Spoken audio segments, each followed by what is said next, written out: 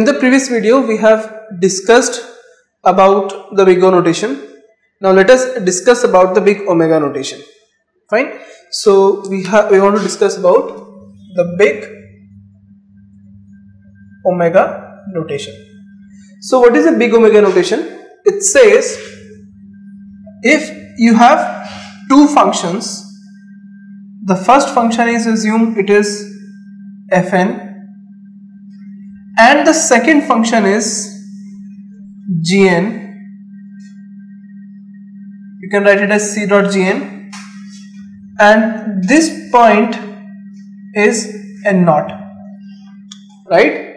The same way. And this point is n naught now if i can say that fn is always greater than equal to c dot gn for all n greater than n naught where c is a constant then we can say that fn is omega of gn. Then we can say that fn is omega of gn. So this is the big omega notation now what is this big omega notation if you see in this diagram you will find out in this notation gn is giving a lower bound to fn right? Here gn is giving a lower bound right? In the case of order notation we have seen order notation gives the upper bound and we have seen the omega notation now omega notation is going to give you the lower bound right? In in the case of algorithms whenever i'm saying we are giving order notation that means for any program what is the maximum amount of time that program is going to take to execute right? And when I'm going to give the omega notation that means for any program what is the minimum amount of time that program is going to take to execute right? In the same way in order notation we were interested in the tightest upper bound. In the same way here we are interested in the tightest lower bound. Right? We are interested in the tightest lower bound. Okay? Let us suppose we have let us say we have the function fn is n square plus 100n plus 1000 and the function gn is n. Right here the function gn is always less than equal to fn. Therefore i can say that fn is omega of gn. Or you can say omega of the function gn. Fine. So fn is omega of the function yes that, that means it is giving the lower bound. Now one more interesting thing. Now let us say if we have fn is 100 n square plus 12n plus 1000 and gn is only n square. Now for this case the highest power is n square in both the cases. In the previous case we have already seen that uh, the big order notation is basically defined by the highest power. Here also this notation is defined by the highest power and here this was having the smaller power here it is having the highest power. Therefore I can say that fn is omega of gn here also I can say that fn is omega of gn okay now you are confused what you are saying you are saying sir you have already said that fn is order of gn. Now how can I be fn be omega of gn?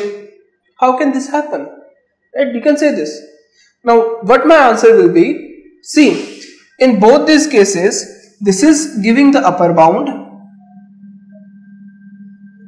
and this is giving the lower bound.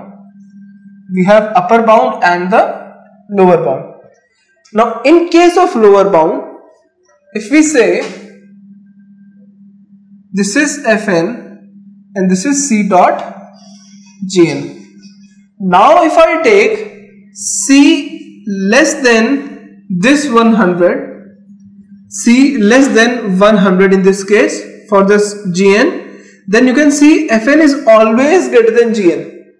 if the value of c is less than 100 then fn is always greater than gn but what if I say c is greater than 100 c is greater than 100 now if I say c is greater than 100 in that case you can clearly see and you can clearly say sir because c is greater than 100 therefore gn will be greater than fn therefore here in this case this order, this notation is also valid because in this case if we assume that C is less than 100 then this notation is valid.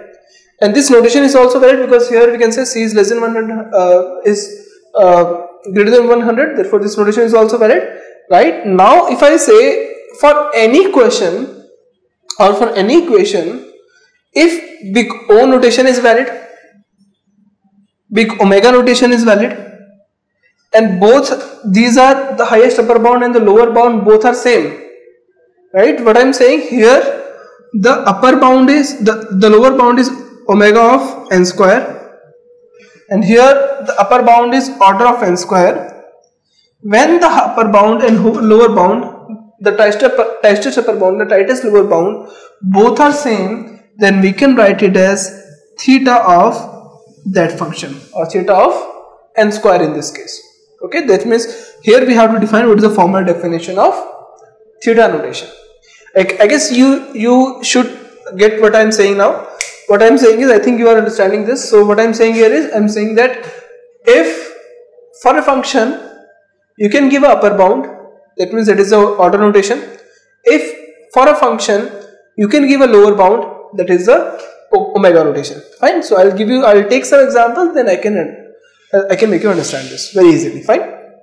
So I hope this is done. Now let me clear this up and let me come to the theta notation. Don't worry I will take a lot of examples and by after the end of the examples it will be clear to you. Fine. Here let us define what is the theta notation. So we have the big theta notation. Now what is this big theta notation? It says that for any function let us suppose this is a function fn. Okay? And I can say this is a function c1 dot gn and this is the function which is c2 dot gn. Okay? And we have these two points one is n naught and second one is n1 we have these two points right? Now what this says what this big uh, theta notation says that for any function if you have the function fn now if you can say that fn is greater than c1 dot gn and fn less than equal to c2 dot gn that means the whether gn is greater than fn or whether gn is smaller than fn that is basically completely dependent on the value of c1 and c2 okay? Now if you remember the big O notation in that case I told you that in big O notation if we increase the value of C constant or if we decrease the value of constant this point will shift in any of these directions. But that equation will also, uh, always be valid right? But in this case see why that equation will be valid? Because n is tending to infinity but in this in this case if we can say that if we take a smaller value of constant c then gn is uh, less than fn. If we take take a bigger value of this constant c then gn is greater than fn. Right? For all uh, you can say n is greater than n naught comma n1 right? And you can say c1 and c2 are constants. Then we can say that fn is order of gn right? So this is what we know okay?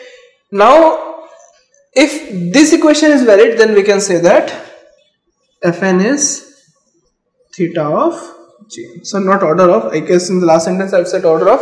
So here fn is theta of right now let me take some examples to clarify the concept okay now let us see this linear search program in this case of linear search program, what is a linear search? Linear search is saying that if we want to search any data, then we will search it by going to every index location. That means we'll first go to index location 0. If data is matching, then we'll return the address or index location. Then we'll go to index location 1. Then we'll check at the index location 2. Then we'll check at the index location 3 and so on. That means we are going to check at every index location. Fine.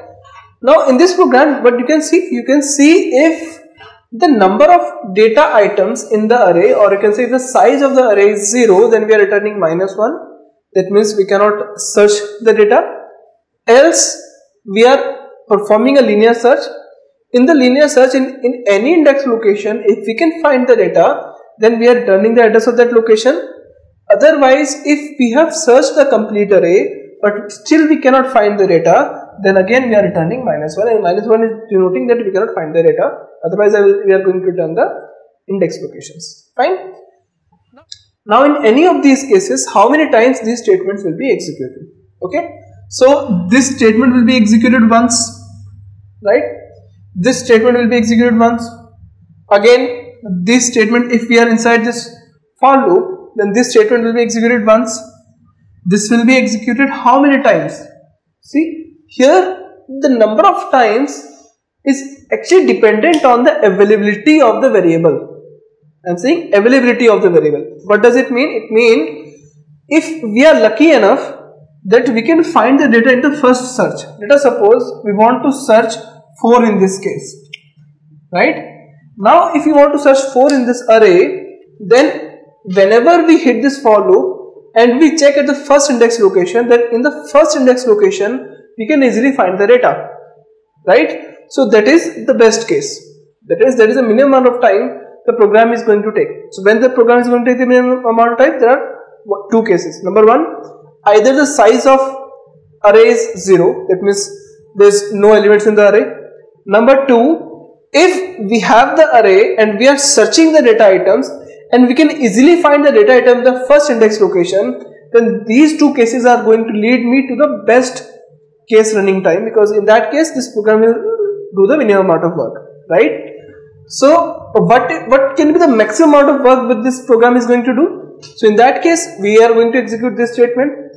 We are going to execute the for loop this for loop will run completely from here to here. That means it will check all the index locations.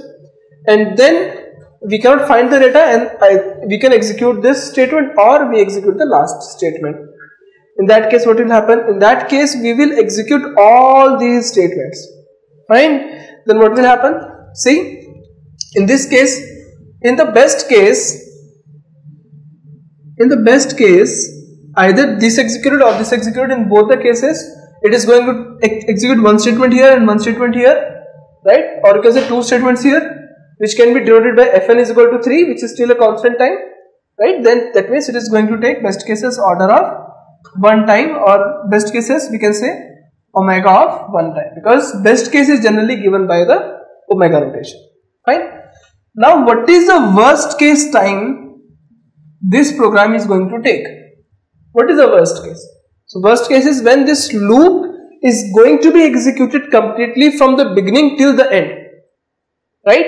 So in the worst case we have to execute the loop completely. In that case it is going to take order of n time. Fine? Now here the best case and worst case they are not same. Therefore if if only they are same then we can say theta notation. But if they are not same then we cannot say give a theta notation here in any case. Right so this is a very simple example of a linear search which we are going to perform now we'll take more examples after this now okay.